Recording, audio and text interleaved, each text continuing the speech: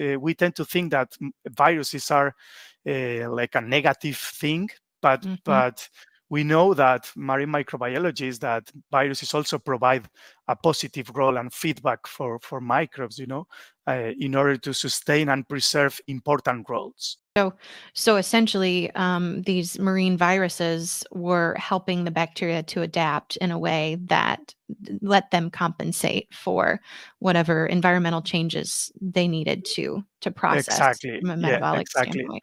So they, they, were like helpers, you know. Um, yeah. And and we need to think that uh, living in in in beneath the Antarctic is like an extreme environment. So in fact, this is the the coldest sea water in the in the world. So it's mm-hmm. minus two degrees Celsius or even lower.